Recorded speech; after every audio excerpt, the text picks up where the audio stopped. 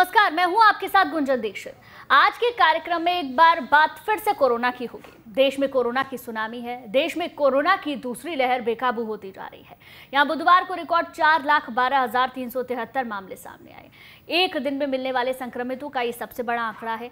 ये दूसरी बार है जब 24 घंटे में चार लाख से ज़्यादा नए मरीज़ सामने आए हैं। इससे पहले 30 अप्रैल को चार लाख दो हज़ार चौदह मामले सामने आए थे। अब तक तीन हज़ार पाँच सौ पच्चीस मरीजों की जान जा चुकी है। कोरोना लगातार डराने लगा है। नए मामलों के साथ मौतों के आंकड़े भी बढ़ने लगे हैं, जो लोगों की चिंता को भी बढ़ा रहे हैं। बीते दिन दुनिया में चौदह हज़ार दो सौ अठहत्तर लोगों की कोरोना की वजह से जान चली गई। इनमें तीन मौतें सिर्फ़ भारत में ही हुई हैं। यानी कि दुनिया में महामारी की वजह से हुई हर चौथी मौत भारत में ही दर्ज की गई है। हालाँकि राहत की बात यह रही कि पिछले 24 घंटे में यहाँ तीन लाख तीस हज़ार पाँच सौ पच्चीस लोगों ने कोरोना की जंग जीत ली। अभी इलाज करा रहे मरीजों की कुल संख्या पैंतीस लाख बासठ हज़ार तक पहुँच चुकी है।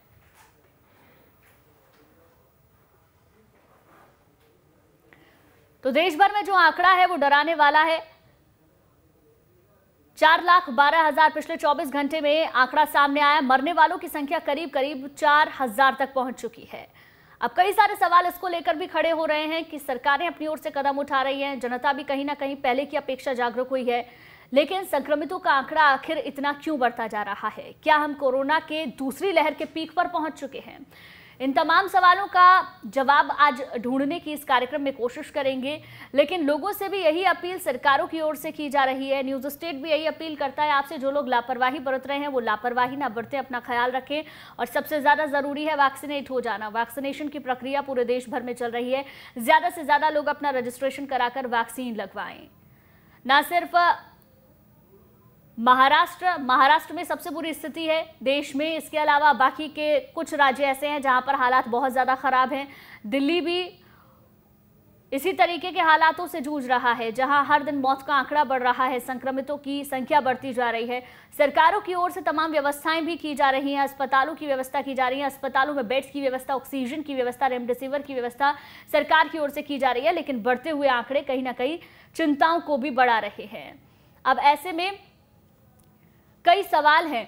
इन सवालों के जवाब आज तलाशने की कोशिश करेंगे। क्या कोरोना अपने पीक पर पहुँच गया है? और अगर पहुँच गया तो इससे किस तरीके से हम बच सकते हैं? क्योंकि अगर लॉकडाउन लगा दिया जा रहा है तो लोग बाहर भी नहीं निकल रहे हैं। बहुत ज़्यादा लापरवाही भी नहीं बरती जा रही है। जैसे कि पहले की तस्वीरें सामने आ रही थी तो आखिर कोरोना किस तरीके से फैल रहा है? इसके अलावा एमपी छत्तीसगढ़ के आंकड़ों की बात करें तो यहाँ पर भी संक्रमितों की संख्या हर दिन बढ़ रही है।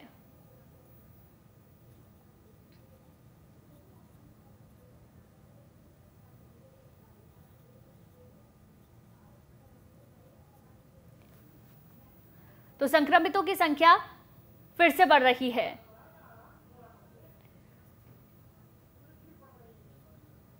और हमारे साथ हमारे साथ आ, हमारे संवाददाता जुड़ गए हैं। आदित्य हमारे संवाददाता रायपुर से हमारे साथ जुड़ गए हैं। विनोद हमारे साथ ग्वालियर से जुड़ गए हैं।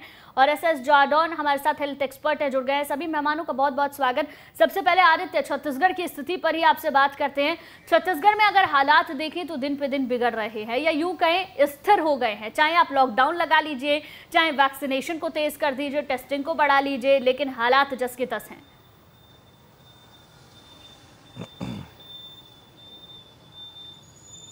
आ, बिल्कुल देखिए पहले बड़े अपडेट के साथ शुरुआत करते हैं आज की खबर की। देखिए सबसे बड़ी बात है कि छत्तीसगढ़ में वैक्सीनेशन आज से बंद हो गया 18 से 44 साल के बीच का। ये एक बड़ा झटका है सरकार के लिए भी आम लोगों के लिए भी जो टकटकी लगाए बैठे थे कि एक मई से उन्हें वैक्सीनेशन का फ़ायदा मिलेगा। एक मई से वैक्सीनेशन शुरुआत ज़रूर हुई थी पाँच दिन तक वैक्सीनेशन चला भी अंत्योदय कार्ड धारी जिन राशन कार्ड होता है गुलाबी कार्ड। उन लोगों के पास जिनके पास अंत्योदय कार्ड उनको जो है वैक्सीनेशन की शुरुआत हुई लेकिन गति काफ़ी धीमे थी हाईकोर्ट में रिट लगी। साफ़ कहा गया कि आर्टिकल 14 का उल्लंघन है। आप दो लोगों के बीच में स्वास्थ्य कारणों से अलग अलग भिन्नता नहीं कर सकते। सभी को वैक्सीन लेने का अधिकार है। उस पर हाईकोर्ट ने दो दिन में जवाब देने के लिए कहा। सरकार से फटकार भी लगाई जिसके बाद सरकार ने कल रात में स्थगित कर दी कमेटी बना दी। वो कमेटी निर्णय लेगी कि आगे क्या करना है। तो वैक्सीनेशन तो 18 से चौवालीस का छत्तीसगढ़ में रुक गया है। 45 प्लस का वैक्सीनेशन भी बहुत तेज़ी से नहीं चल रहा है जबकि उसमें वैक्सीनेशन में कोई प्रॉब्लम नहीं है। लगातार वैक्सीन भी आ रही है। उसके बाद भी वो फिगर हम नहीं पहुँच पा रहे हैं जहाँ हमको पहुँचना चाहिए। तीसरी महत्वपूर्ण चीज़ 28 जिलों में लगभग 26 से ज़्यादा जिलों में लॉकडाउन को बढ़ा दिया गया है। आज से नई शर्तों के साथ लॉकडाउन की शुरुआत हुई है लॉकडाउन पार्ट थ्री से लेकिन फिर भी अभी भी हम शहरों में देख लें तो जागरूकता की अभी भी कमी है लोग लगातार बाहर निकल रहे हैं। लोगों को लॉकडाउन का मतलब शायद समझ में आता नहीं कि लॉकडाउन का मतलब होता क्या है। छोटी छोटी रियायतें इसलिए दी जाती है सरकार की तरफ़ से ताकि सिचुएशन पैनिक ना हो छोटी छोटी ज़रूरतों के लिए लोगों को कहीं इधर उधर ना जाना पड़े अपने मोहल्ले में ही छोटी छोटी दुकान किराना दुकानें खुली कम से कम उससे आप जो है अपनी ज़रूरत की सामान ले लेकिन उसके बाद भी इतनी ज़्यादा भीड़ है शहर में कि लॉकडाउन का फ़र्क नहीं पड़ रहा जैसा कि आपने कहा देखिए नौ तारीख से लॉकडाउन पे है पूरा छत्तीसगढ़। हम्म। आज हम आ, अगर हम बात करें तो लगभग एक महीना होने जा रहा है लेकिन आज की स्थिति भी वही है।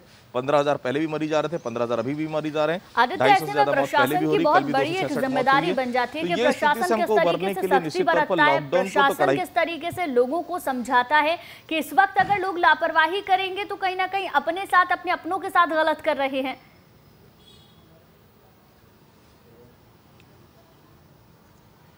बिल्कुल वो तो कर रहे हैं लेकिन देखिए केवल प्रशासन के ऊपर नहीं है हमारी और आपकी कोई ज़िम्मेदारी नहीं है हम्म। अपने परिवार के लोगों के प्रति। हम ये सोच रहे हैं कोविड कोरोना नाम की कोई चीज़ नहीं आप निचली बस्तियों में चले जाए वैक्सीन लगाने से लोग कतरा रहे हैं उनका ये कहना है कि वैक्सीन लगाएँगे तो हम मर जाएँगे। ऐसी ऐसी भ्रांतियाँ उड़ाई जा रही है लोगों के द्वारा कि लोग तुरंत विश्वास कर ले रहे हैं। आज वैक्सीनेशन के अलावा कोई दूसरा चारा नहीं है आपके पास जो देश पहले पहली लहर में पूरे बर्बाद हो गए थे उन्होंने वैक्सीनेशन करवाकर आज वो देश वापस उसी पोजीशन पे पहुँच गए और हम अभी भी कोविड 19 की जंग लड़ रहे हैं और लगातार उस जंग में बाहर से भी हमको सहयोग मिल रहा है लेकिन दिक्कतें हमारे लगातार बढ़ते जा रही चाहे मैं अपने प्रदेश की बात करूँ आठ लाख से ऊपर मरीज़ हो चुके हैं छत्तीसगढ़ में। हम्म। ये अपने आप में बड़ा फिगर है वो छत्तीसगढ़ जहाँ पर पहले मध्य प्रदेश से दस परसेंट केस भी नहीं आते थे। अब मध्य प्रदेश से आगे जाने लगा छत्तीसगढ़ तो ये हैरत की बात है। जल्दी कदम नहीं उठाएगा तो जा रही है। सरकार भी कदम उठाई रही है लेकिन स्थिति यहाँ पर संभलती हुई नज़र नहीं आ रही। ठीक है आदित्य लौटूँगी आपके पास। मध्य प्रदेश के हालात पर भी चर्चा कर लेते हैं। विनोद हमारे संवाददाता बने हुए हैं लगातार हमारे साथ। विनोद अगर मध्य प्रदेश की स्थिति देखें तो पिछले कुछ दिनों से हालात थोड़े से बेहतर नज़र आते हैं, क्योंकि संक्रमितों की संख्या में भी कमी देखी गई है। अगर मरीजों की संख्या देखें माफ़ कीजिएगा, डेथ रेट अगर देखें, मरने वालों की संख्या देखें तो उसमें भी कमी देखी गई और रिकवरी रेट बढ़ा है।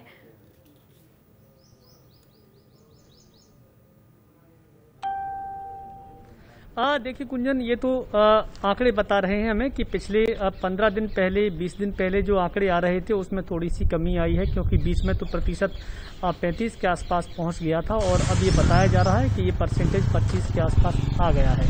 ग्वालियर के भी लगभग इसी तरह के आंकड़े बताए गए हैं। आ, लेकिन इन आंकड़ों से कोरोना को हराया नहीं जा सकता। कोरोना को हराने के लिए तो लोगों को अपनी ज़िम्मेदारी निभानी होगी। मध्य प्रदेश के चाहे इंदौर की बात करें भोपाल की बात करें या ग्वालियर चंबल संभाग की बात करें आ, तो प्रशासन पिछले कुछ दिनों से ज़्यादा सख्त हुआ है। ग्वालियर में आ, देर रात को एक आदेश निकाला गया कि अभी तक जहाँ जहाँ रियायत थी वो सारी चीज़ें बंद कर दी जाएँ। शादियों पर प्रतिबंध लगा दिया गया। बाजारों से किसी भी तरह की होम डिलीवरी नहीं होगी जो मोहल्ले कॉलोनियों में दुकानें खुला करती थी किराने की। उनको भी बंद करने का आदेश जारी कर दिया गया शादी विवाह पर प्रतिबंध लगा दिए गए हैं तो ये जो फैसले लिए जा रहे हैं ये बहुत पहले लिए जाने थे अगर बहुत हम्म। पहले ले लेते आ, तो शायद आज इतनी विकराल स्थिति देखने को नहीं मिलती आ, कहीं ना कहीं ये उसकी वजह से हुआ है कि मुख्यमंत्री ने जो जिलाधीशों को स्वतंत्र अधिकार दिए कि आप हम्म। अपने हिसाब से मैनेज करें और इसीलिए हमने ये देखा कि अलग अलग जिलों में अलग अलग तरीके से लापरवाही तो हुई है। शासन के स्तर पर भी प्रशासन के स्तर पर भी और आम जनता तो लापरवाही लगातार कर ही रही है। ठीक है दुर्गेश भी हमारे संवाददाता जबलपुर से हमारे साथ जुड़ गए दुर्गेश आपके पास आने से पहले मैं एस एस जादौन जी हैं उनके पास आना चाहूँगी। सर अगर देश भर के आज के आंकड़े देखें यानी कि 24 घंटे के आंकड़े देखें तो चार लाख बारह हज़ार केस सामने आए हैं। मरने वालों की संख्या चार हज़ार के करीब है। तो क्या सर कोरोना की दूसरी लहर के पीक पर हम पहुँच चुके हैं? देखिए, अपन बिल्कुल पीक लहर की तरफ़ भी जा रहे हैं। दो चार दिन और ऐसा चलेगा चलेगा तो चलेगा, क्योंकि अब इसको पंद्रह दिन होने जा रहे हैं। तो जो कोरोना की जो लाइफ साइकिल होती है, वो पंद्रह दिन की होती है, पंद्रह, सत्रह दिन की। इतने में कोरोना वायरस मरने लगता है। इसके साथ साथ अपन ने, सरकार ने ये लॉकडाउन टाइप का एक कर्फ्यू टाइप का जो लगाया हुआ है, जिससे सोशल डिस्टेंसिंग मेंटेन हो गई है लोग आप बाहर निकल नहीं रहे तो जो जो पहले हो गया था, चुनाव हो गए थे, कुंभ हो गया था कोई और मेले लग रहे हैं दुनिया भर की जो भीड़ हो रही थी उस तरह से जो इन्फेक्शन स्प्रीड हो रहा था वो निश्चित तौर से कम स्प्रीड हुआ होगा। और अब जो है जो लोग बिल्कुल घरों में बंद हो गए दूसरे ये बात भी देखने में आई है कि लोग अपने आप घरों में बंद हो गए अब हम्म। लोग डर गए हैं कि कोरोना के चक्कर में बाहर नहीं निकले क्योंकि तो मौतें बहुत हुई हैं। और ऐसे ऐसे लोगों की मौत हुई है मतलब यंग जनरेशन में तीस साल की मौत भी हो गई। तो हम्म। लोग अब डरे हुए तो इसलिए स्वयं ही एहतियात बरतेंगे और अब कोरोना मई के माह में निश्चित तौर से नीचे जाएगा। ठीक है, सर। दुर्गेश, जबलपुर के हालात इस वक्त क्या बने हुए हैं? वहाँ संक्रमितों की संख्या में क्या कुछ कमी आई है या प्रशासन की तरफ़ से वहाँ किस तरीके से काम किया जा रहा है? अस्पतालों की क्या स्थिति है?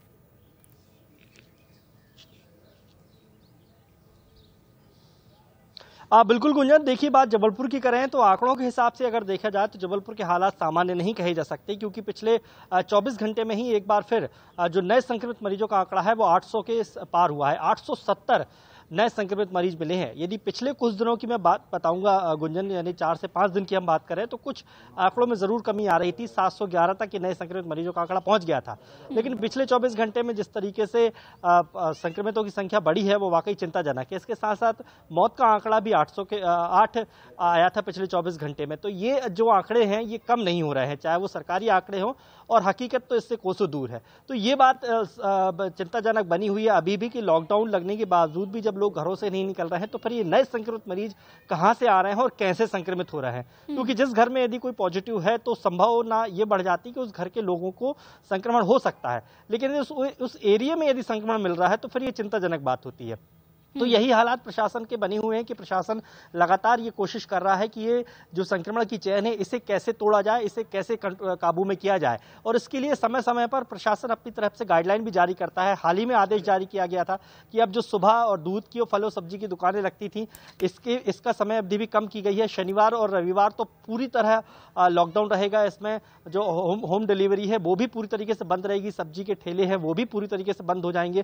तो ये एक सख्ती प्रशासन अपनी तरफ़ से बरत रहा है अब हम्म। यदि अस्पतालों की व्यवस्थाओं की बात करें गुंजन तो अभी भी देखिए वही हालात बने हुए हैं कई शिकायतें आती हैं कई मरीजों की शिकायतें आती हैं कि उन्हें बेड नहीं मिल पा रहा है और एक हम्म। जो सबसे महत्वपूर्ण बात बताऊँगा गुंजन देखिए ये जो दूसरी लहर है ये इसलिए भी ज़्यादा भयानक हो गई है या लोगों में डर पैदा हुआ है क्योंकि पिछले महीनों में यदि मैं आंकड़ों की बात करूँ जबलपुर ज़िले के तो हम्म। बीस हज़ार नए संक्रमित मरीज़ मरीज़ मिले हैं और ये बीस हज़ार पिछले जो एक साल से मतलब पिछले मार्च के लेकर अभी तक के मार्च में ये बीस हज़ार मिले थे और केवल एक महीने में ही बीस हज़ार मरीज़ मिल गए और सबसे महत्वपूर्ण बात गुंजन इसमें यह है कि इसमें बीस हज़ार मरीजों पैंतीस प्रतिशत ऐसे मरीज़ थे जो युवा थे जिनकी हम्म। उम्र 18 साल से बिल्कुल सबसे बड़ी बात यही है कि आपके इस बात को ही आगे बढ़ाते हुए मैं एस एस जी के पास जाऊँगी। ठीक है दुर्गेश लौटूँगी आपके पास। सर, अगर देखें तो पिछले बार की जो कोरोना की लहर थी, उससे बुज़ुर्ग सबसे ज़्यादा प्रभावित हुए थे, या फिर वो लोग प्रभावित हुए थे जो पहले से किसी बीमारी से ग्रसित हैं। लेकिन इस बार की लहर में हमने देखा कि युवा प्रभावित हुए, बच्चे प्रभावित हुए तो किस तरीके का वायरस है सर, जो युवाओं पर अटैक कर रहा है और ऐसे लोगों पर अटैक कर रहा है जिन पर पिछले बार के वायरस ने अटैक नहीं किया था? देखिए, ये निश्चित रूप से समझें कि कोई ना कोई नई स्ट्रेन वायरस की आई है, जिसके वायरुलेंस ऑफ़ ऑर्गेनिज्म ज़्यादा है। क्योंकि वायरुलेंस अगर ऑर्गेनिज्म की ज़्यादा होगी तो निश्चित तौर से वो जो जिसकी इम्यूनिटी ज़्यादा होगी उसको भी अफेक्ट कर जाएगा और उसके कैजुअलिटी हो सकती है। तो निश्चित मानिए कोई ना कोई स्ट्रेन नई आई है जिसके बारे में मुझे तो नहीं पता है। लेकिन आईसीएमआर में जैसा डिस्कशन होगा उसके बाद पता लगेगा कौन सी नई स्ट्रेन है क्या इन्फेक्शन कर रहे हैं। तो ये ये तो निश्चित मान के चलिए कोई नई स्ट्रेन है क्योंकि पिछले वाले उसमें केवल जो सस्पेक्ट थे कोमॉर्बिडिटी के मरीज़ थे हार्ट के मरीज़ हाइपरटेंशन के डायबिटीज़ के मरीज़ ओल्ड एज मरीज़ इनकी डेथ हुई जिनकी इम्यूनिटी कम होती। लेकिन अब की बार जो डेथ हो रही है वो यंग जनरेशन में भी डेथ हो रही है इसका हम्म। मतलब ये वायरस ऐसा है जो कि हाई इम्यूनिटी वाले लोगों को भी अफेक्ट कर रहा है, ठीक है। और उसमें कैजुअलिटीज हो रही है। ठीक है।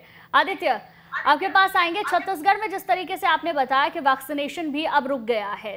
वैक्सीनेशन रुकना कहीं ना कहीं कोरोना को, कोरोना संक्रमित को दावत देने जैसा है, क्योंकि इस वक्त वैक्सीनेशन के अलावा हमारे पास बहुत ज़्यादा उपचार है नहीं कि हम जिससे खुद को कोरोना से बचा सके। अब वैक्सीनेशन अब पता नहीं कितने दिन बाद वापस से शुरू होगा, कब तक वैक्सीन पहुंचेगी, कब तक वैक्सीनेशन होगा, इसमें कितना ज़्यादा हार्म लोगों को हो सकता है, कितने ज़्यादा संक्रमितों की संख्या बढ़ सकती है।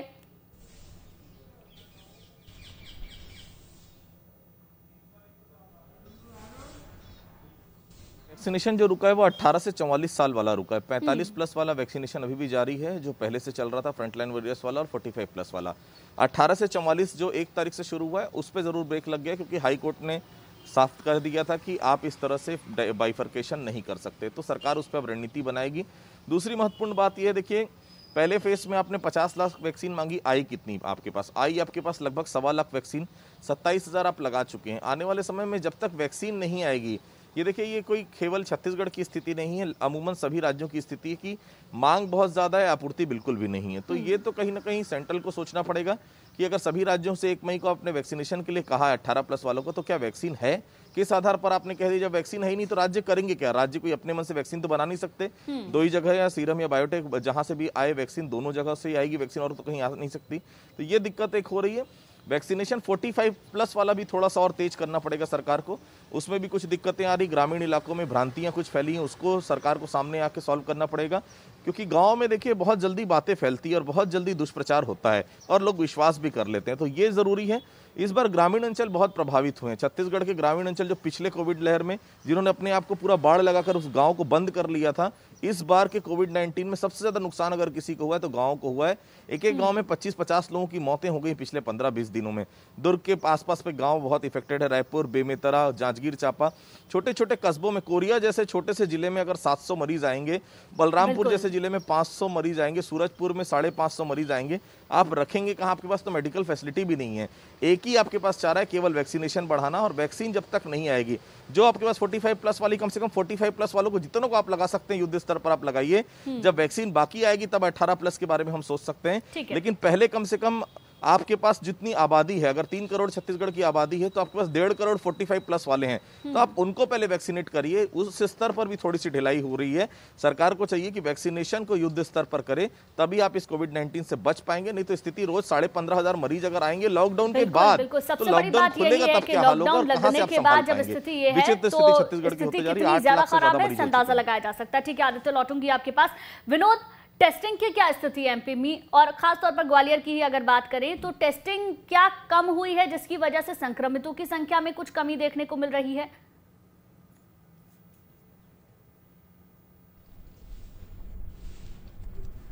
देखिए गुंजन शुरुआत के दौर की अगर हम बात करें तो जिस समय कोरोना ने दस्तक दी थी उसके बाद जो आ, टेस्टिंग आ, का सिस्टम गवर्नमेंट ने बनाया था। अब वो एक ज़िले में एक शहर में कई सेंटर बनाए गए थे लेकिन फ़िलहाल ये देखने को आ रहा है कि ग्वालियर का केवल आरटीपीसीआर का टेस्ट एक ही जगह पे हो रहा है जो कि सबसे बड़ा अस्पताल है जय आरोग्य अस्पताल।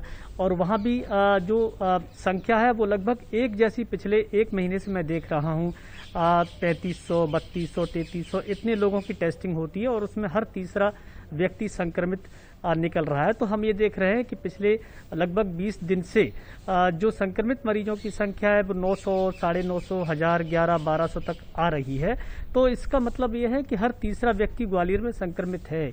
अगर ये टेस्टिंग बढ़ा दी जाए यही टेस्टिंग बढ़ा के अगर पचास हज़ार या एक लाख तक रोज कर दी जाए तो पता चल जाएगा आँखें खुल जाएँगी कि कितने लोग संक्रमित हैं। क्योंकि टेस्टिंग कम हो रही है अब सरकार ने जिला प्रशासन ने ग्रामीण इलाकों में भी अपनी टीमें भेजी हैं। तो ये देखने में मिल रहा है कि हर गाँव में दस दस बीस बीस लोग संक्रमित निकल रहे हैं। ग्वालियर ज़िले से 50 किलोमीटर दूर भितरवार इलाके में एक ईटमा गाँव है। वहाँ सत्तर से ज़्यादा लोग संक्रमित निकले हैं। जो जाँच करने गए थे, लोगों को समझाने गए थे, तहसीलदार पटवारी वो भी संक्रमित हो गए। एक सुपावली गाँव है, वहाँ तीन लोगों की मौत हो चुकी है। करीब तीस के करीब लोग वहाँ संक्रमित निकले हैं। तो अब ये पूरा जो संक्रमण का दायरा है ये केवल शहरी इलाकों तक नहीं रहा है बल्कि इसने ज़िले के तमाम गाँव अपनी चपेट में ले लिए हैं। और ये स्थिति केवल ग्वालियर ज़िले की नहीं है बल्कि मुरैना भिंड दतिया श्योपुर शिवपुरी गुना तमाम संभाग के ऐसे ज़िले हैं जहाँ अब इस तरह के हालात पैदा हो गए हैं। हम्म। तो टेस्टिंग अगर बड़े स्तर पर की जाए तो संक्रमण भी बड़े स्तर पर देखने को मिलेगा। लेकिन शासन और सरकार की मजबूरियाँ हैं क्योंकि महामारी बहुत तेज रफ्तार से फैली है और इतने संसाधन इतनी जल्दी उपलब्ध नहीं कराए जा सकते। फिर भी कोशिश ये की जा रही है कि ज़्यादा से ज़्यादा लोगों को क्वारंटाइन किया जाए उन्हें आइसोलेशन किया जाए गाँव के लोग गाँव में रहें एक दूसरे के साथ ठीक है। क्या अवेयरनेस उतना ज़्यादा नज़र आ रहा है? दुर्गेश, सवाल के साथ मैं आपके पास आऊँगी। क्या लोगों के अंदर उतना अवेयरनेस लापरवाही नहीं करनी है? इस वक्त कोरोना बिल्कुल पीक की ओर है। क्या ये बात आम जनता समझ पा रही है? क्योंकि सरकार कितने भी कदम उठा ले, कितने भी नियम बना ले, जब तक जनता इस बात को नहीं समझेगी, तब तक स्थिति को कंट्रोल में करना मुश्किल है।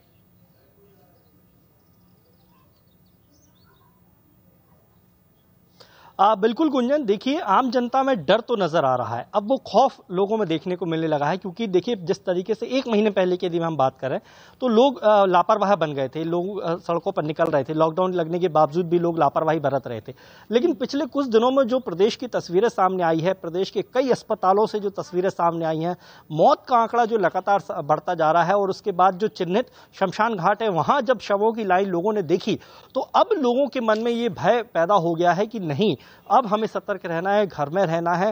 जो ज़रूरत है, यदि नहीं भी मिल रहा है वो चीज़ तो उससे हमें एडजस्ट करना है, तभी हम इस संक्रमण से बच पाएँगे। क्योंकि देखिए मेरे ख्याल से मध्य प्रदेश या पूरे देश में ऐसा कोई व्यक्ति नहीं होगा जिसके नाते रिश्तेदार या यूँ कहें, दोस्त या दूर दराज के लोग, उनमें कि, कोई किसी न किसी की डेथ ना हुई हो, या क्यों कोई ना कोई संक्रमित ना हुआ हो, या जिससे परेशानी हो। तो ऐसे लोगों की जब कहानी लोग सुनते हैं तो वो ये समझते हैं कि नहीं, यदि हम घर में रहेंगे तो ज़्यादा सुरक्षित रहेंगे। तो ये एक भावना अब पिछले तकरीबन एक महीने से हम लोगों के मनों में देख रहे हैं और इसका असर यह है कि अब लॉकडाउन के नियमों का पालन भी लोग करते हैं। वही लोग निकल रहे हैं सड़कों पर जिन्हें या तो किसी काम है या जो बहुत ज़्यादा लापरवाह बिल्कुल ज़रूरत भी दुर्गेश इसकी बहुत ज़्यादा नज़र आती है क्योंकि लोगों को खुद में भी ये समझने की ज़रूरत है कि उनकी लापरवाही उन पर कितनी भारी पड़ सकती है। ठीक है दुर्गेश शुभम भी हमारे संवाददाता ज़्यादा जानकारी के साथ भोपाल से हमारे साथ जुड़ गए हैं।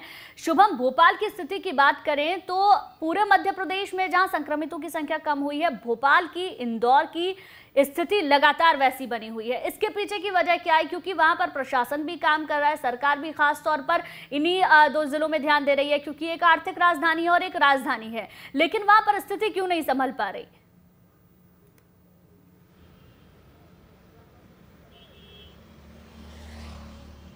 देखिए स्थिति क्यों नहीं संभल पा रही है इसका सबसे बड़ा कारण यही है कि जिस तरह का लॉकडाउन लगाया गया है या कहें कि इसे सरकार ने गुंजन लॉकडाउन भी नहीं कहा है जनता हम्म। कर्फ्यू कहा है सब कुछ खुला खुला सा मध्य प्रदेश की राजधानी भोपाल में लगता है और शायद यही कारण है कि लोगों का संपर्क ज़्यादा हो रहा है लोग मिलजुल ज़्यादा रहे हैं और इसके चलते ही ये चेन टूट नहीं पा रही है। हालाँकि जब भी इस बारे में सरकार से सवाल किया जाता है तो उनके अधिकारी मंत्री यही कहते हैं कि आप सिर्फ़ मध्य प्रदेश ही मत देखिए आप दूसरे राज्यों में देखिए कि क्या वहाँ पर संक्रमण नहीं फैल रहा है। मध्य हम्म। प्रदेश तो फिर भी छठे सातवें नंबर पर आता है। इसके अलावा कई और राज्य हैं जहाँ पर संक्रमण तेज़ी से फैल रहा है। तो इस तरह से जब इस बात को लेकर सवाल करते हैं तो इसका जवाब दूसरे राज्यों से तुलना करने जैसा बतला दिया जाता है। आ, वहीं आप देखिए कि भोपाल हो या इंदौर हो जबलपुर ग्वालियर ये चार शहर ऐसे हैं जहाँ पर मध्य प्रदेश के तकरीबन 50-60 परसेंट जो है वो केसेस आते हैं। यानी कि बारह तेरह हज़ार मामले अगर मध्य प्रदेश में रोज़ आ रहे हैं तो छः सात हज़ार मामले इन चार शहरों से ही आते हैं। हालाँकि सरकार ये भी कहती है कि रिकवरी रेट बेहतर है। मगर रोज़ाना लोगों की मौत होना आप देखिए कि इस 10-15 दिनों में हमने कितने लोगों को खो दिया है। हाल ही में कांग्रेस के विधायक पूर्व मंत्री विजेंद्र सिंह राठौड़ का निधन हो गया। हम्म। कल बीजेपी के पूर्व मध्य प्रदेश के उपाध्यक्ष विजेश लड़ावत का निधन हो गया। इससे पहले नंद कुमार सिंह चौहान जो कि बीजेपी से खंडवा लोकसभा सीट से सांसद से उनका कोरोना से निधन हुआ। कांग्रेस के विधायक कलावती भूरिया का निधन हो गया।